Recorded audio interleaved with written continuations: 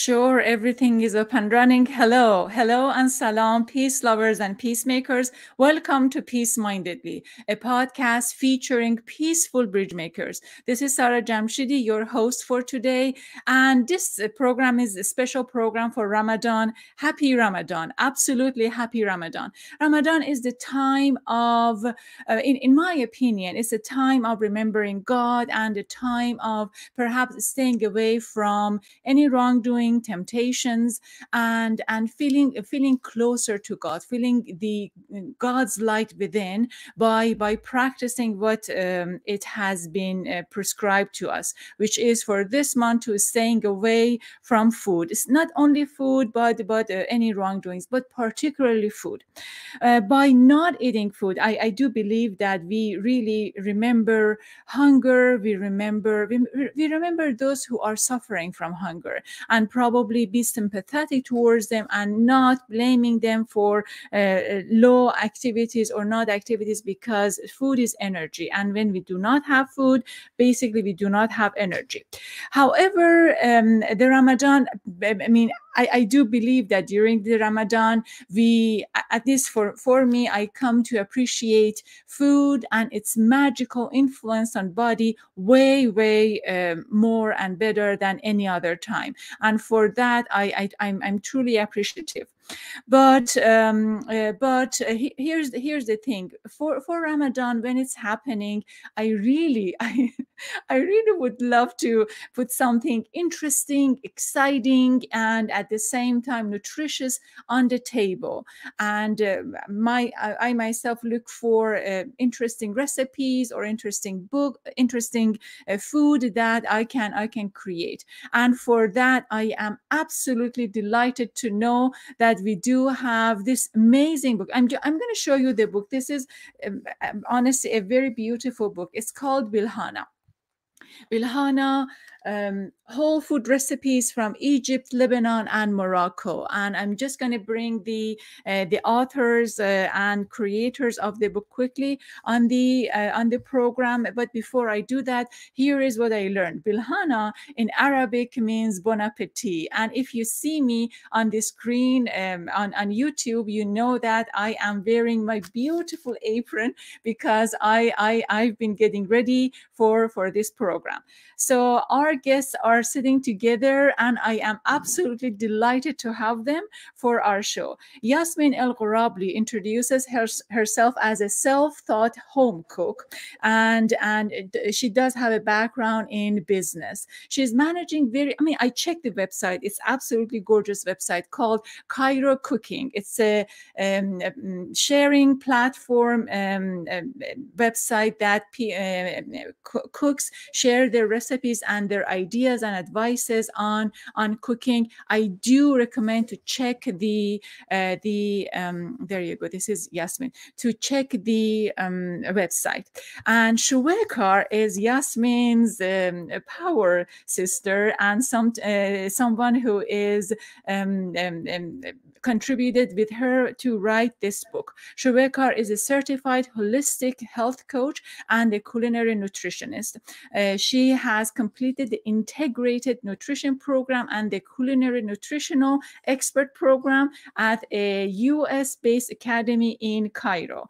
And their friend Yehia El Laili is a, a Egyptian British award-winning photographer. In her portfolio, you can find lots of photos on different industries, including food, including nature, people, interiors, and all of those. And I am so delighted to have you uh, on on Peace Mindedly. Welcome. Thank Hi. you. Thank you. Hi, Sarah. Thank you. absolutely. Absolutely. Okay, Yasmine. So I am so, I mean, I am so eager to ask this question. And the question is, let's say I've fasted for 18 hours, 19 hours, whatever, and I'm coming to your house and you want to um, give me something, you have prepared something interesting that I can break my, my fast. What would be that, that kind of food that you, you, you could think of uh, giving me as breaking my, my fasting? Um, first, I pity you that in Seattle you have to fast for 18 hours. We yes. fast for 14 to 16 max. yes, ours, ours. I think this year is 17 hours, um, 50 second, wow. 50 minutes, something like that. Bless you. so yes, what do you feed you a, a feast? so what do you start with? Um, we would start with khoshef, which is the dried um, fruits, um, uh, fruit salad, but made of dried fruits, uh, prunes and apricots and dates and nuts. Um, and it's slow cooked until they're all tender and uh, naturally sweetened with honey to, to give you that extra energy boost uh, at the beginning. Mm-hmm. Excellent. Uh, Already, I am I am hungry. and you you fo- follow with a soup soup. And to what make soup? it nutritious and healthy and wholesome, um, maybe it should be bone broth based, uh, and then a creamy vegetable one. So it's um, hearty for you after all the long after the long day. Excellent. Yasmine, for the soup, do you have the recipe of the soup that you are just um, yes, mentioning have, in the book? Uh, what is the yeah. name and tell me how you cook it? So first we have the bone broth which is um, either either knuckles or uh, uh, bone marrow that is slow cooked with vegetables uh, and spices, uh, and then we use the water as a base for as a broth and base for for a lot of soups. Uh, and the soup that we chose today, I think we I would go for um, a broccoli arugula soup. We're very big on arugula here in the region. Uh, so um, I think if you're uh, with a good nutritious base of the bone broth and the creaminess of the broccoli uh, when it's uh, whisked into after it's cooked, and the freshness of the arugula, it would be uh, optimal. Excellent. And Shewekar, what would you think about you know, as a nutrition uh, based food that I can have after these two delicious, absolutely delicious food? Um, since you had the greens already with the broccoli and the arugula, I would go for the maqluba, which is uh, uh, and uh, aubergine and meat. Um, we have it in the book as well. What it's is the name? It's, it's done in a big pot and then flipped upside down and it looks gorgeous after it's flipped and you have the farike, the, the layer of farike, the layer of meat and the layer of the aubergine. Excellent. The layer of farike, what is farike? Farike is um, the baby uh, wheat. So mm-hmm. it's it's still green. It's still um, um, it's it's more. It has a lot of fibers in it. So it's delicious. It's uh, filling. Um, it's much healthier. It's it's high on, it's high on protein, and it's much healthier than, for example, uh, um, white rice. Mm-hmm. I am much, already much absolutely absolutely. Yeah. very hungry okay yeah yeah so the the pictures are beautiful. I love the pictures. And I'm thinking that, you know, it takes a lot of time to um, prepare the food from the beginning to the end. And at the end, the sisters had you to take a photo of the food. So, but did, did they let you to eat the food whatsoever? we ate everything. Don't worry about that. everything was consumed. And actually, what one of the main uh, things that we want to do is a zero waste. So we almost didn't waste anything from the book. Everything we, we did shoot, we had, we consumed it. Either on the day or later, but everything is consumed. Nothing is uh, thrown away. This is amazing. Yeah, what you are saying, I love it because um, I mean, I'm from Iran. I experienced revolution and the war and scarcity of food in Tehran. And then here, I this is my my strategy. My strategy is never waste food. But I cannot even begin to tell you that how much food we waste in the United States. So for those of us who are rating, um, wasting food, what is your what is your advice? To not waste food during shoots. First thing, you have to be ready with everything, with the layout, with the, with the props, with the plating. Uh, a lot of people in this job, they waste a lot of food. Some of the people, they consume, they ask for like six pieces of each thing you're going to shoot. Uh, while the process can be much easier if you check what you need from the beginning. So you don't need to waste six pieces to pick one piece. So that, that's the main thing. Mm-hmm, mm-hmm. Also, in in the sh- in the shoot itself, we did not use anything uh, processed or anything that's chemical to make the picture look nicer. So everything was edible and and natural. Mm-hmm. Any co- chemical colors or uh, No oils? sprays, nothing. Hmm Yes, um, here my daughter and I made a very, it was so delicious, the spice uh, date nuts nut, and Okay. then we uh, filmed it on on TikTok. It's a quick video. I'm gonna play the video and come back. Bear with me for about, and she's um, promoting her pajama there, but bear with me for about three minutes, okay? Lovely. Yeah, since I promised to show you that I am baking this, the spice date and nut cake. I'm doing this, but I am in my pajamas, so I'm not showing myself. Now I am, I'm gonna just uh, make this one uh, soft and put it here with almond milk and other stuff. Then I'm gonna just show, you want me to show you? yes. Hello. And then I'm gonna um, uh, show you the the latest result, the last result.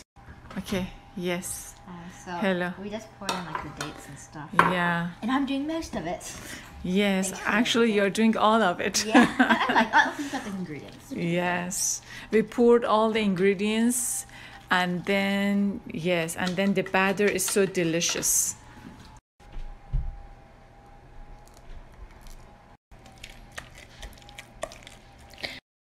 Ya estará Mikira. Yeah, I, I think you should use that. I know, I'll even. Okay. Okay. Okay. I'm not the best cook. we are both very excited.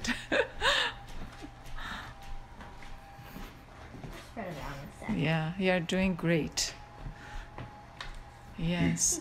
We're going to show this uh, to Yasmin and Shewekar that what we did. Okay, so everything is here.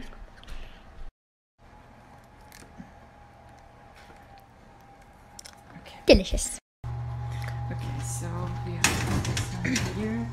And into the oven we go. See you later. And we now we, we need to just uh, clean up the mess. And wait for the thing to come out. Yes. Hi, so I just want to say, I got new pajamas. We're gonna get the cake out of the oven now. Look at this beauty. yes, okay, I'm taking it. Voila. Oh, I mean, ki- ki- okay, so this is happen, see? And then I can grab this one here and voila. It's a bit, um, I, I need to uh, let it to Yeah, just, you know, yeah, get it but- colder. We're gonna cut a slice of this. I'm super, super, duper excited super super. Oh my god this is beauty. Look at this.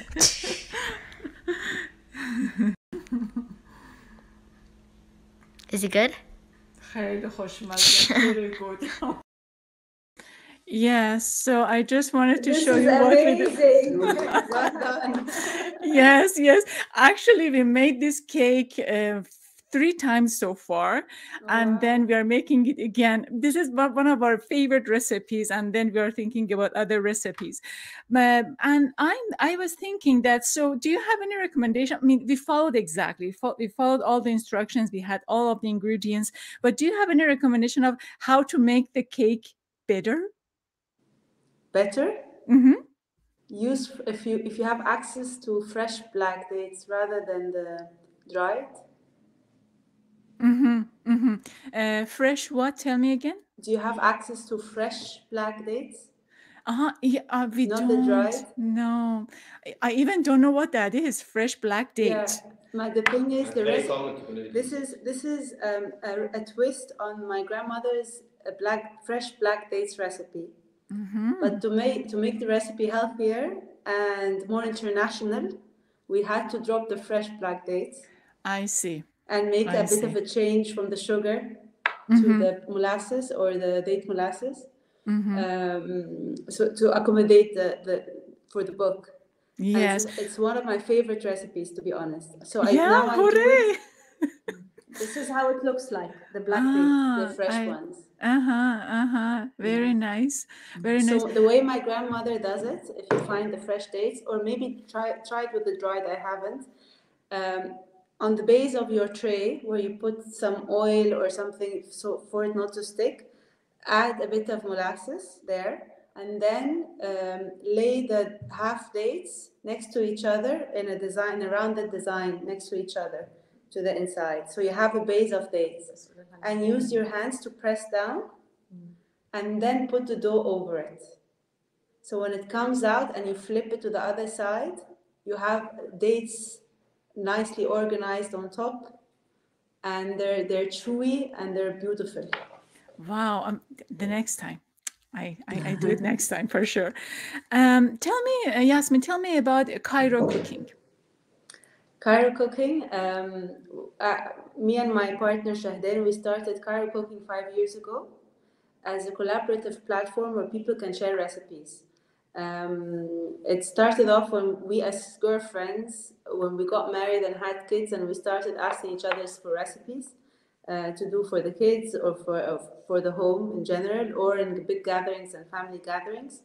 And we realized how much there is a need for that. So we created Cairo Cooking with our own recipes and asked people to join us and add their own. And we try to promote Middle Eastern recipes that are done easier and with a more modern twist. So, mm-hmm. so we take away the stigma from the big recipes that scare you, the grandmother's recipes that scare you, and try to make them up to date to how we cook right now and how a mm-hmm. modern wife or a modern home home taker with home home taker will, will do it.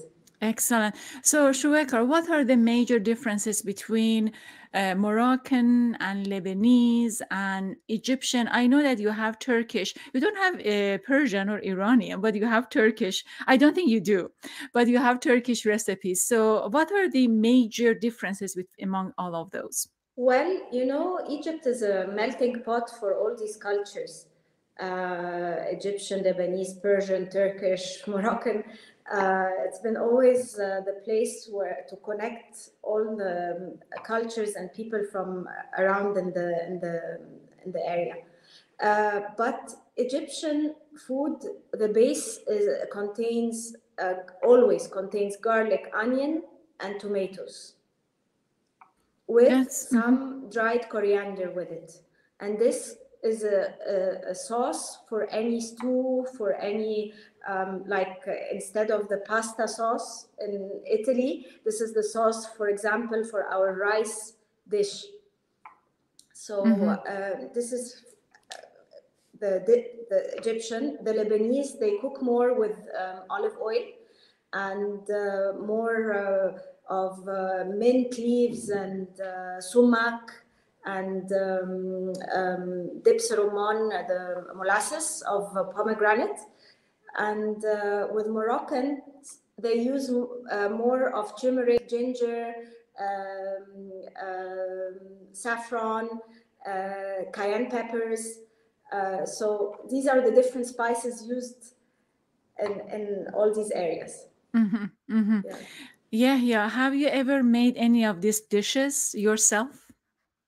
By myself, no, unfortunately. Your wife- But my wife, yes. So, which one is your favorite? and I love the, the Moroccan uh, lamb rack and uh, the spinach chips. It's so simple, so easy, and so tasty. So, it's Moroccan Also, what? The So- s- spinach chips. Uh-huh, uh-huh. Go ahead, So Shewekar. Uh-huh, uh, go ahead, go ahead, Yehia. Yeah. Since he mentioned the lamb rack, also uh, some of the differences Um, in Morocco and in Lebanon, they eat more of the lamb because, um, for example, Morocco is more tribal, um, tribal uh, life, or, or but we have in Egypt here we're more of a, a river civilization. Uh, in Lebanon, they have more mountains, so they they um, grow more of lamb and goats and so on. So here in Egypt, we eat more of uh, buffalo meat or cow's meat rather than a lamb. Very good. Um, distinct differences. I love it. Uh, my question is um, so, yeah, yeah. I mean, these are. Um, I'm. I'm not sure if I'm going back and forth between questions, no but, uh, but um, there, there, they are good pictures. How did you control light? It's about the consistency in all the pictures. Everything is consistent. The lighting is always consistent. It's very soft light. You can use either soft or harsh light. We decided to use soft light so everything looks so natural. hmm Soft light. Uh, so um, natural light, basically. No, no, no. It's a studio lighting. Say it again. It's a studio lighting. There's no Studio. natural lighting except for a couple of shots. Excellent. How the El Ghorabli sisters found you? Uh, we're friends. we're friends, old friends. Yeah, old friends. Tell me, what, in what way? Tell me how, how you are friends. How did Um, we his Uh, wife, his uh, wife actually used to go to the same uh, high school like we do. So um, this is one. wa- Yeah, we know That's his one wife. thing. One My thing. husband is a good I friend work in interiors as well, so he he got to photo shoot some of my interior projects. Um, my husband sees uh, Yehia at our sporting club almost every day in the morning. Uh, multiple connections. Yeah. Yes, yes, you're best family friends. Yes, excellent. So please stay put with me. I'm going to come back. You are watching and listening to Peace Mindedly, a podcast featuring peaceful bridge makers. Um, so we are we are talking with uh, Yasmine El Ghorabli, Shewekar El Ghorabli, and Yehia uh, El Laili. If um, you're going to forgive my pronunciation. I'm doing great. In my opinion, I'm doing great here. They are the creators of Bilhana. Bilhana in Arabic means uh, bon appetit, and it's a cookbook, beautiful cookbook uh, of recipes from uh, Egypt, Morocco, and, and Lebanon. So in this book, uh, you can find Moroccan lamb shoulder. Shewekar was ju- just talking about, and also Yehia talking about the um, um, uh, Moroccan uh, ways in which they are more into lamb other than any other um, um, eatable animals. But this is uh, the, the, the description. I haven't made the dish, but the description of the dish is fantastic. It says that it's the slow cook with detoxing spices filled with veggies and fruits. Uh, their other favorite uh, dish is the chicken uh, masakhan. Chicken masakhan. Uh, they love uh, its aroma when it is slowly cooked and it's uh, the releasing deliciousness of caramelized onion.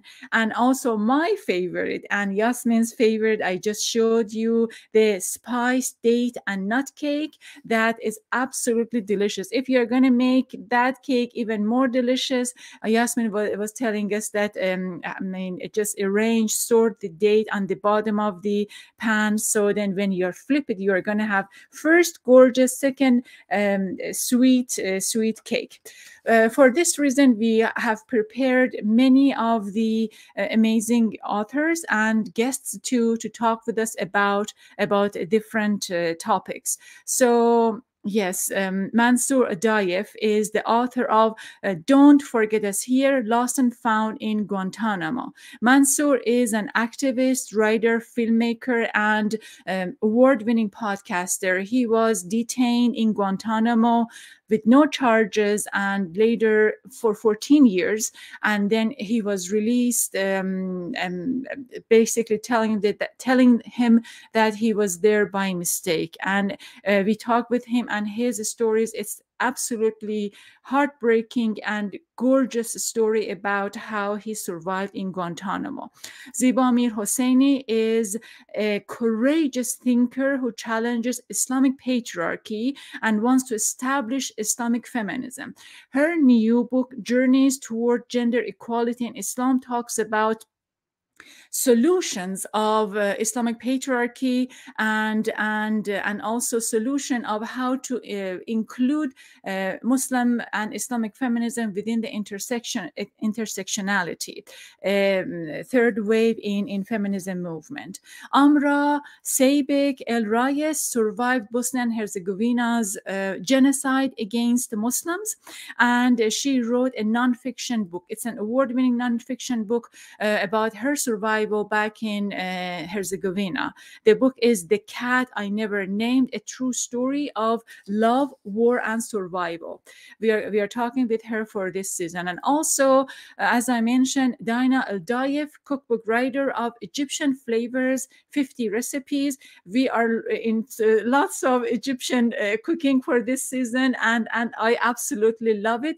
Her new book has absolutely no photo compared to the books that we are talking about, lots of drawings, and has been created for the cooks uh, of non Mediterranean, non Middle Eastern, mostly American and European cooks who want to um, um, practice some of these be, delicious, delicious um, recipes and dishes. This is Ramadan, and this uh, show is special for Ramadan. For this hour, we're talking with Yasmine and Shewekar El Gharabli and also Yehia El Laili. So I have the sisters here. Yes, Shewekar is a health coach and a nutritionist with a background in interior design.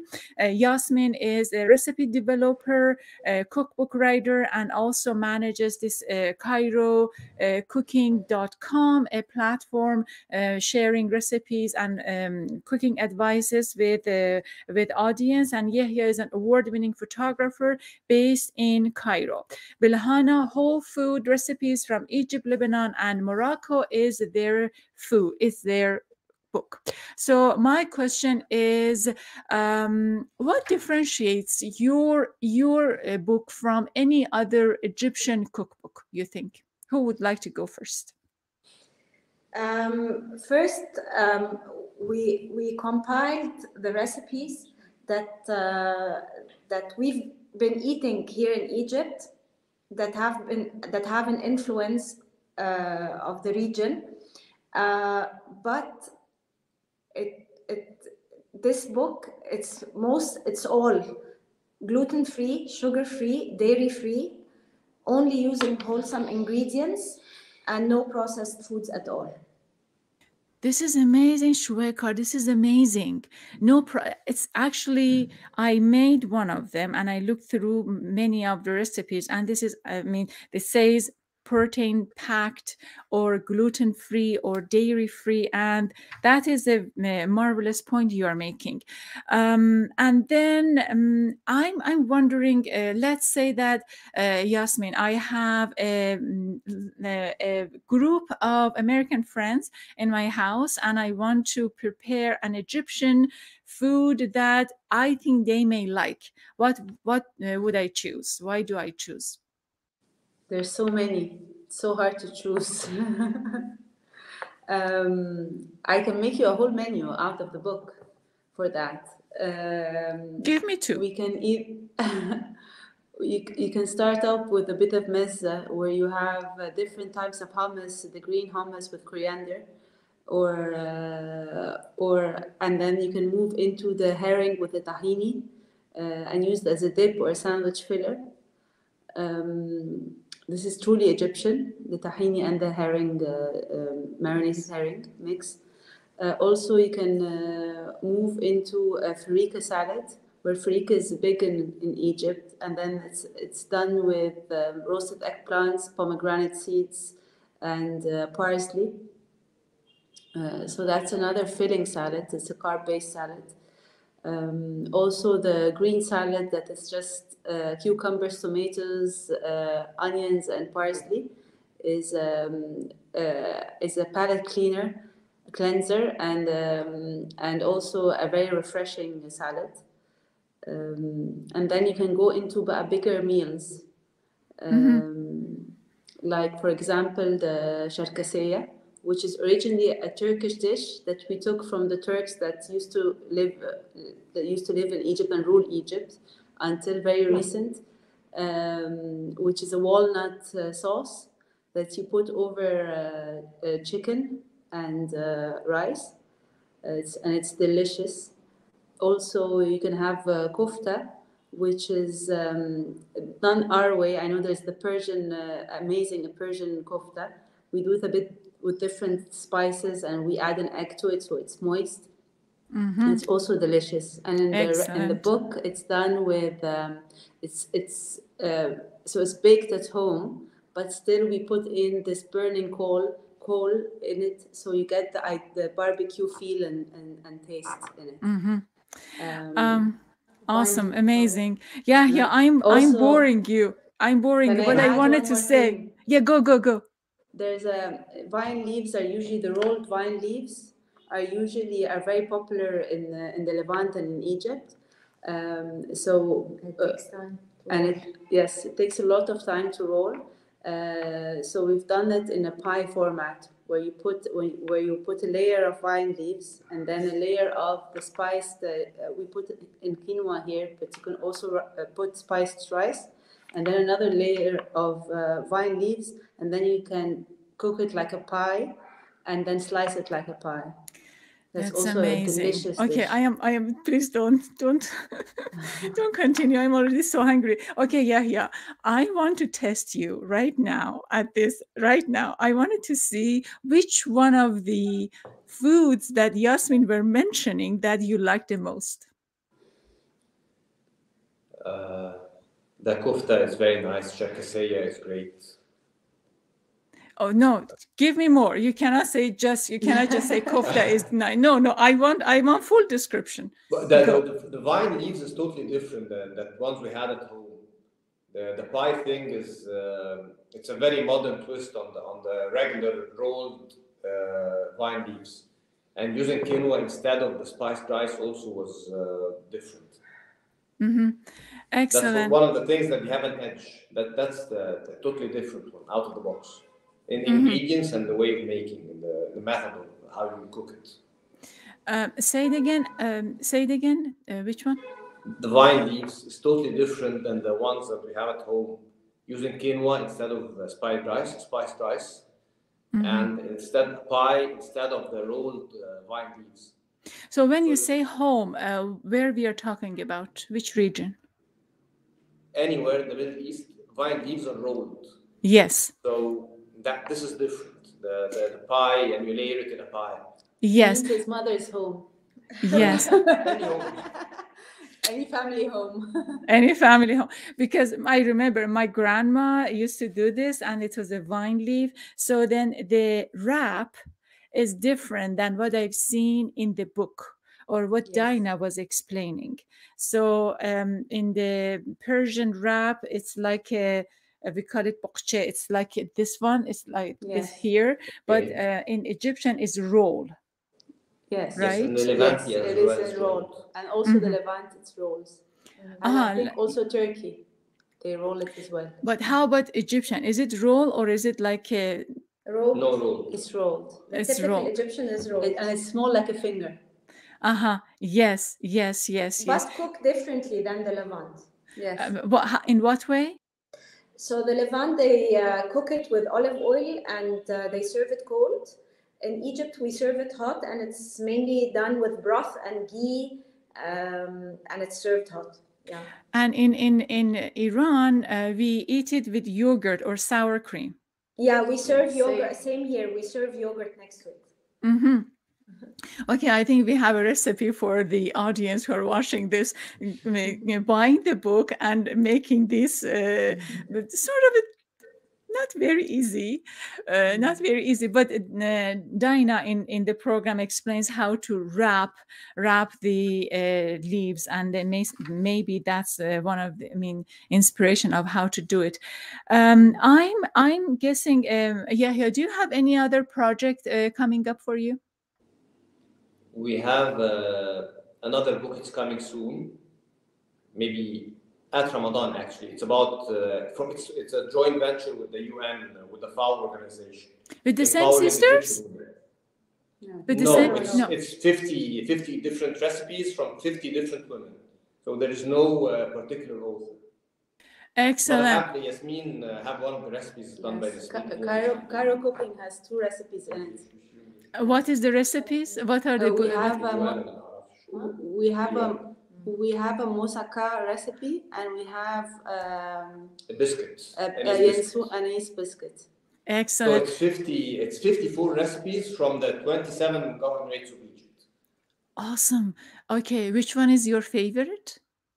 Uh, there are too many to mention. The No, no, one. choose choose one. Definitely Yasmine's uh, biscuits is my favorite. Excellent. Uh, why is your favorite? Uh, لا, the- this, the, and I love the anise biscuit. It's very traditional and nobody's doing it anymore in Egypt. So uh, It's my grandmother's recipe as well. Oh, nice. Hooray. Awesome. I used to love it as a child. Uh-huh. Uh, and there's another one with the I don't remember the author. It's it's baked uh, baked squid. mhm. It was very nice as well. Yes. Say it again. Baked squid. Mhm. It was very nice, but I don't remember who's the author. Uh, in what way is very nice? How do you feel when you eat it? It's a stuffed squid with uh, with rice. It's different. It's spicy. It's nice. It's different. Than the, we, we don't do this in the squid in Egypt. Squid is mainly fried or grilled. And I think squid is a bit um, rare to find in that region, isn't it? I'm just making an assumption. No, it's assumption. very common in Egypt. No, it's very common. Oh, see, I have my own stereotype. But we either We are bake it- framed. We are framed with the Red Sea and the Mediterranean, so we get all sorts of seafood. Very good. Yasmine, you mentioned that the biscuit is your favorite from your grandma. So, what do you think about the biscuit when you are preparing or making the uh, the food? The thing is, when, when I talked to my grandma about this recipe, she wouldn't remember the measures of the ingredients. So uh, she would say, like, I think put three cups of flour. I think you need this amount of butter. I think, and she she let me be, and I had to test and retest because she doesn't remember. This is how she bakes or cooks. No measures, no recipe, you know, she, and it's always perfect. And um, the thing is, the smell in the house when you enter her home and you have the smell of these biscuits, uh, it's very nostalgic for sure. And we used to dip them in hot milk, so it was uh, a kind of a biscuit party. I love it, biscuit party. Okay, yeah, yeah. Let's say that there is no wo- woman around you and you are home and you are absolutely, that's okay, that's okay. I can, that's okay. So uh, you're coming home and you're very, very hungry. What is, are you like my husband who has no idea of what to cook, or you actually can put something together Excuse me, and can you feed say yourself? again? Okay, so you are, there's no woman around and you're coming home and you want to feed yourself. What do you cook for yourself?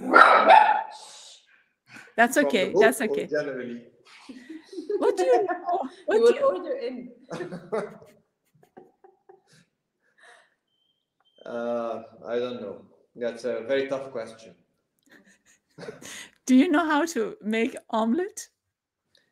No, I do a lot of things, but not from the book. can cook. can I see, I see, I see. I am, I'm teasing you, but uh, it, it's been a very great conversation. Please stay put with me. Yes, I was teasing Yehia, and uh, it's it's a delightful conversation. Uh, for this hour, we are talking with Yasmine Al Ghorabli. We talked with for this hour, we talked with Yasmine El Ghorabli, Shewekar El Ghorabli, and Yehia El Laili. Uh, the signature for our show you know that and and then if you are not watching you go you need to go to youtube.com peace mindedly and watch what i'm doing because i am wearing my favorite apron and um, basically ready to uh, dive into many of these recipes. Uh, i think for this ramadan i'm just gonna mm, practice and make many of the egyptian egyptian recipes hopefully inshallah. Uh, the signature for the show as you know, is to ha- uh, have our guests to share something meaningful about peace, about kindness and compassion.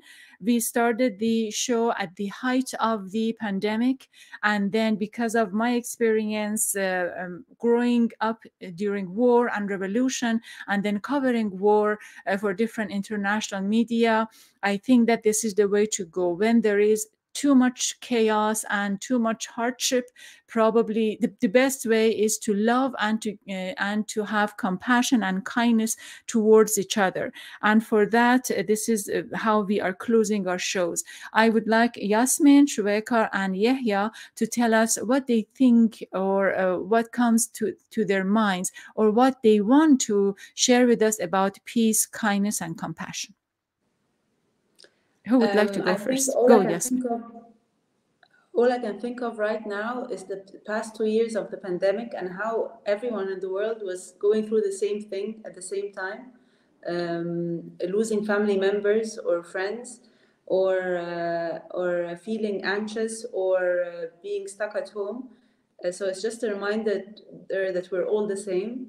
We all go through the same things, and we all have our own uh, the, have the su- same sufferings and same fears um, and same family ties. So it's just a reminder of that. So I hope um, that makes us better people and uh, more accepting to each other. Shewekar, you are next Uh, Islam uh, uh, always uh, promotes unity. Uh, so um, food, uh, cooking and sharing food is all about unity as well. So I hope the recipes we've made in the book uh, bring you barakah and blessings to your table and uh, or the food you share with your neighbors or the food you share with the um, uh, all the all your friends and family and uh, uh, people in need. Uh, may they bring may, may it brings barakah and blessings and love and kindness to your table and to the rest to the food. inshallah very good inshallah yehia